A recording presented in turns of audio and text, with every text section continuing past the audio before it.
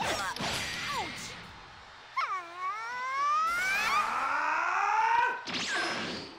really think you can hold your own against us? Of my sight!